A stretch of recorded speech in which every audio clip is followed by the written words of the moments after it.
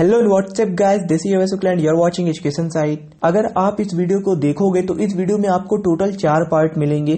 पहले पार्ट में हमने बताया है कि आईसीएआर एग्ज़ाम क्या होता है। इसमें कौन कौन से कोर्स होते हैं एग्ज़ाम पैटर्न क्या होता है एप्लीकेशन फॉर्म कब आएगा।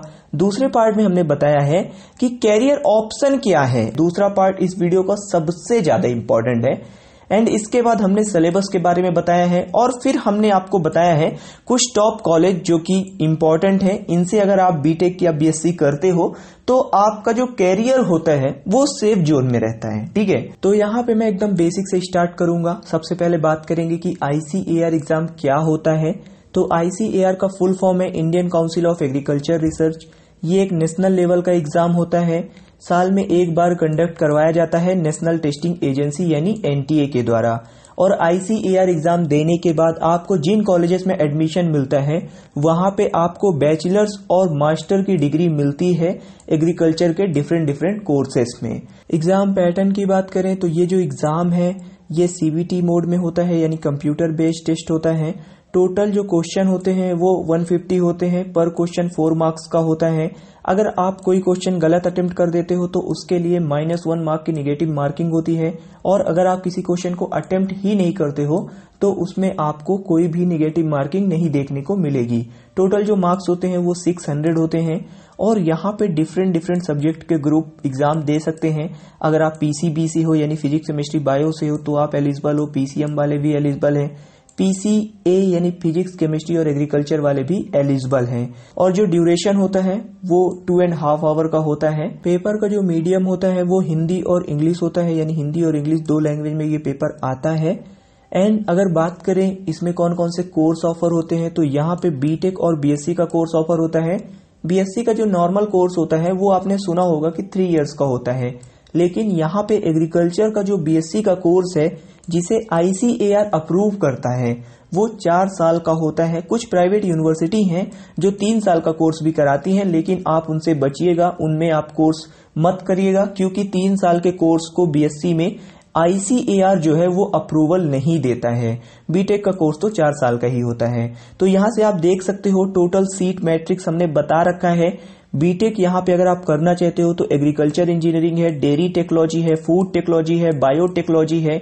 एंड बीएससी अगर आप करना चाहते हो तो एग्रीकल्चर है हॉर्टिकल्चर है फॉरेस्ट्री है तो इसका आप स्क्रीनशॉट लेकर रख लीजिएगा। अगर आप बीटेक या बीएससी करना चाहते हैं तो ये सीट मैट्रिक्स आपकी काफ़ी हेल्प करेगा आपके काउंसलिंग के टाइम पे। इसके बाद बात करते हैं कि आपका एग्ज़ाम कब होगा तो आईसीएआर 2021 के लिए जो ऑनलाइन एप्लीकेशन फॉर्म है, वो मार्च के फ़र्स्ट वीक में रिलीज़ कर दिए जाएँगे।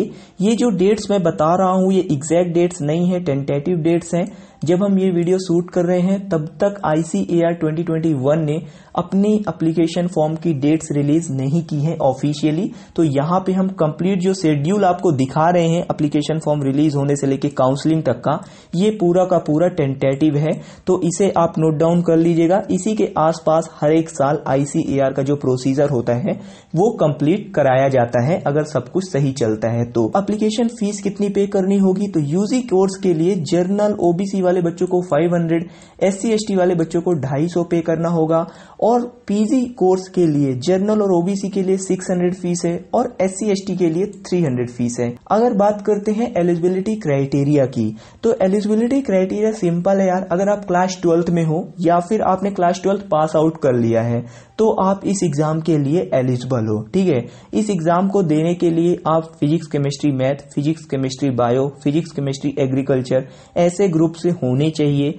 एंड एज लिमिट इन्होंने बता रखा है कि 16 ईयर से ऊपर होनी चाहिए आपकी एज आप अगर जर्नल कैटेगरी से हैं तो आपको 50 परसेंट स्कोर करना होगा। रिजर्वेशन कैटेगरी से है तो 40 परसेंट स्कोर करना होगा क्लास ट्वेल्थ में। एंड पीजी कोर्स के लिए आप यहाँ से एलिजिबिलिटी क्राइटेरिया देख सकते हैं। पीजी के लिए जो एज रखी है, इन्होंने मिनिमम वो रखी है नाइनटीन ईयर्स सिलेबस क्या होगा एग्ज़ाम का? तो यूजी कोर्स के लिए यहाँ पे हमने सिलेबस बता रखा है। पीसीएम वाले फिजिक्स, केमिस्ट्री और मैथमेटिक्स का सिलेबस देखेंगे पीसीवी वाले बायो का सिलेबस देखेंगे।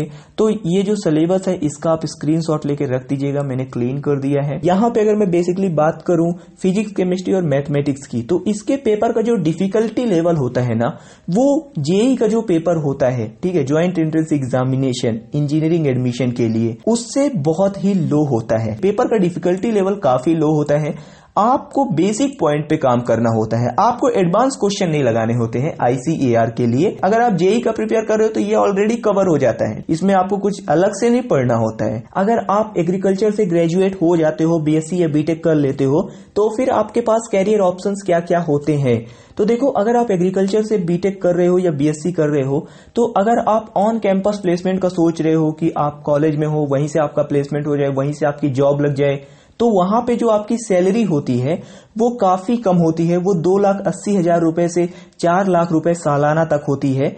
और ये जो सैलरी है, ये काफ़ी कम मानी जाती है। और यहाँ पे आपके पास ऑप्शन भी कम होते हैं, यानी चांसेस भी कम होते हैं कि आपकी जॉब लग जाएगी। और जब आप एक अच्छे कॉलेज में होगे, जो टॉप के कॉलेज हैं, जो मैं आपको नीचे बताऊँगा, अगर आप इन टॉप कॉलेजेस से हो, तब आपके पास जॉब के ऑप्शन है, ठीक है? वहाँ पे आपका ऑन कैंपस प्लेसमेंट हो सकता है। लेकिन वहाँ पे जो सैलरी है ना, वो दो अस्सी से चार लाख के बीच ही रहती है। कुछ कंपनी है, जैसे ट्रैक्टर मैन्युफैक्चरर जितनी भी कंपनी है फॉर्म मशीनरी जो बनाती है फर्टिलाइजर्स जो बनाती है, और मार्केटिंग के लिए आपको ये रिक्रूट करते हैं। तो ऑन कैंपस प्लेसमेंट के लिए जो बीटेक का ऑप्शन है या बीएससी का ऑप्शन है एग्रीकल्चर में, ये मेरे हिसाब से वेस्ट है। इसमें आपको बहुत ही नुकसान फेस करना पड़ता है। इसमें आपका फ़ायदा कुछ नहीं होता है, ठीक है? क्योंकि यहाँ पे आपके पास पहली बात तो जॉब भी कम है और सैलरी भी कम है। अगर आपने बीटेक या बीएससी कर लिया आईसीएआर के किसी कॉलेज से और आपको अपनी जो सैलरी है, वो प्राइवेट सेक्टर में बढ़ानी है, यानी प्राइवेट सेक्टर में काम करना है और सैलरी भी अच्छी होनी चाहिए। तो इसके लिए आपके पास कई सारे ऑप्शंस होते हैं, जो मैं अब आपको बता रहा हूँ।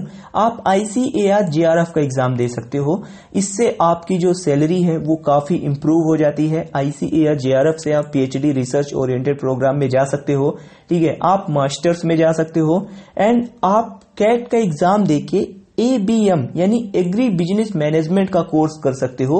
एग्री बिज़नेस मैनेजमेंट का जो कोर्स है, वो आईआईएम अहमदाबाद और आईआईएम लखनऊ ऑफ़र करते हैं। और ये दोनों जो आईआईएम है बेसिकली जो आईआईएम अहमदाबाद है, वो टॉप का है और आप गूगल करो कि इसके पैकेज कितने होते हैं, इसके सैलरी पैकेज कितने होते हैं, ठीक है? तो आपको अपने आप इस कॉलेज की जो हैसियत है, वो पता चल जाएगी। बहुत ही बढ़िया कॉलेज है। यहाँ पे अगर आपको एडमिशन मिल रहा है एबीएम कोर्स में एग्री बिज़नेस मैनेजमेंट में तो आपका जो स्टार्टिंग सैलरी पैकेज होगा ना, वो सात आठ लाख रुपए से कम किसी भी हालत में नहीं होने वाला है। ये आप मेरा गारंटी लिख के ले लो, ठीक है ना? सात आठ लाख रुपए तो एकदम आसानी से आपको मिल जाएँगे और ये आपका बारह से पंद्रह लाख तक भी पहुँच सकता है। कैट का जो एग्ज़ाम होता है, वो तो सबके लिए सेम होता है, लेकिन ये जो एबीएम का कोर्स है, ये एग्रीकल्चर वाले बच्चों के लिए होता है और इससे आपको बहुत बेनिफिट मिलता है। ठीक है? इसके बाद आप पीजीडीएम कर सकते हो। यहाँ पे जो पैकेज होता है, वो पाँच से सात लाख के बीच हो जाता है। पीजीडीएम आप एबीएम से कर सकते हो। एनआईएएम जयपुर है, वहाँ पे आपको जो प्लेसमेंट परसेंटेज मिलता है, वो अप्रॉक्स 80 टू 90 होता है और 80 टू 90 परसेंट प्लेसमेंट किसी एग्रीकल्चर कॉलेज का होना काफ़ी बढ़िया होता है, काफ़ी बड़ी बात होती है अपने आप में। अगर आप प्राइवेट सेक्टर को छोड़ गवर्नमेंट सेक्टर में अपना कैरियर देख रहे हो बीटेक या बीएससी के बाद तो यहाँ पे जो सबसे टफ एग्ज़ाम माना जाता है, वो नवार्ड का माना जाता है एग्रीकल्चर में। इसकी जो स्टार्टिंग सैलरी होती है, वो सेवेंटी थाउज़ेंड होती है, यहाँ पे तीन पेपर होते हैं। एएफओ का एग्ज़ाम होता है, ये बैंकिंग सेक्टर की जॉब है, इसकी जो स्टार्टिंग सैलरी होती है वो फिफ्टी थाउज़ेंड होती है, जो लोएस्ट सैलरी होती है वो थर्टी थाउज़ेंड पर मंथ होती है, जो कि आर ए की होती है, ठीक है ना? तो यहाँ पे कई सारे गवर्नमेंट जॉब है, इनके पेपर होते हैं अलग अलग ठीक है? हमने यहाँ पे डिफिकल्टी के हिसाब से सारे पेपर को कैटेगराइज कर रखा है, अपने फ़ील्ड से हट के कुछ नॉन टेक्निकल में करना चाहते हो तो फिर आपके पास ऑप्शन है यूपीएससी का SSC bank railway state exam exam तो यहाँ पे भी आप अपियर हो सकते हो, इन सब के लिए भी आप एलिजिबल हो। ठीक है ना? अगर आप टेक्निकल में करना चाहते हो गवर्नमेंट जॉब तो आपके पास ये ऑप्शन है। इसके बाद बात करते हैं कि आईसीएआर के अंदर कौन से टॉप कॉलेज आते हैं तो यहाँ पे हमने उन कॉलेजेस के नेम मेंशन कर रखे हैं, जो कि टॉप के कॉलेज हैं और आईसीएआर के अंदर आते हैं। इनमें से कुछ कॉलेज ऐसे हैं, जो सिर्फ़ पीजी या पीएचडी का कोर्स ऑफ़र करते हैं तो उनके सामने हमने मेंशन कर रखा है। कि ये जो कॉलेज है, ये सिर्फ़ पीजी और पीएचडी वाले बच्चों के लिए है, ये यूजी का कोर्स ऑफ़र नहीं करते हैं, यानी ग्रेजुएशन कोर्स ऑफ़र नहीं करते हैं, और यहाँ पे बाकी जो कॉलेज हैं, वो ग्रेजुएशन कोर्स भी ऑफ़र करते हैं, जैसे कि पंजाब एग्रीकल्चर यूनिवर्सिटी हो गई, जवाहर नेहरू यूनिवर्सिटी हो गई ये जो कॉलेज हैं, ये आपको बढ़िया सा फ्यूचर दे सकते हैं। आपको ट्राई कर रहे हैं कि इन कॉलेजेस में आप एडमिशन लें। वीडियो के लास्ट में हमने कुछ क्वेश्चन मेंशन कर रखे हैं, जो कि आप लोगों की तरफ़ से हमेशा हमसे पूछे जाते हैं। तो आईसीएआर के लिए अप्लाई करना है। अगर तो आपको रजिस्ट्रेशन करना होगा आईसीएआर के ऑफिशियल साइट पे, जो कि आपको इस वीडियो के डिस्क्रिप्शन बॉक्स में मिल जाएगी और वीडियो के फ़र्स्ट कमेंट में भी मिल जाएगी। ठीक है ना? रजिस्ट्रेशन प्रोसेस जो है, वो मार्च के फ़र्स्ट वीक से स्टार्ट हो जाएगा। ये टेंटेटिव डेट्स हैं, क्योंकि जब हम वीडियो बना रहे हैं, तब तक आईसीएआर ने ऑफिशियल डेट्स रिलीज़ नहीं की हैं। इसके बाद अगर आप क्लास ट्वेल्थ में हैं तो आप एलिजिबल हैं। आप आईसीएआर का एग्ज़ाम फॉर्म फिल कर सकते हैं। एंड अगर आप आईसीआर एग्ज़ाम नहीं देते हो, आपने रजिस्ट्रेशन फॉर्म वगैरह फिल कर रखा है फ़ीस वगैरह पे कर रखी है तो आपका रिफंड नहीं होने वाला है। अगर आप फॉरेन स्टूडेंट हो तो आप आईसीएआर का एग्ज़ाम नहीं अटेम्प्ट कर सकते हो। तो आपने इस वीडियो को पेशेंसफुल होकर लास्ट तक देखा, ये काफ़ी बड़ी बात है।